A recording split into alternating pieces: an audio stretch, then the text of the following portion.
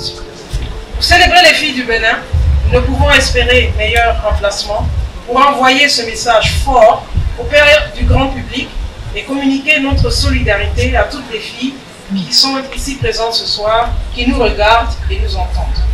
Qu'il s'agisse de la protection de la fille, de leur éducation ou de leur santé, il reste encore des obstacles majeurs pour leur permettre de vivre en sécurité et d'atteindre leur plein potentiel.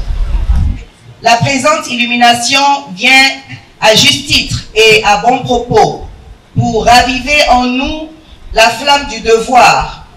Il est en effet plus que nécessaire que nous ayons le courage d'illuminer nos us et notre banalisation des violences, abus et exploitations faits aux enfants.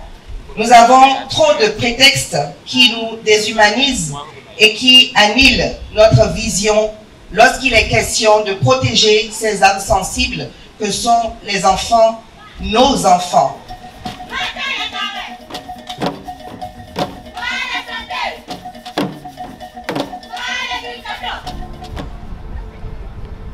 Amazon un jour, Amazon toujours.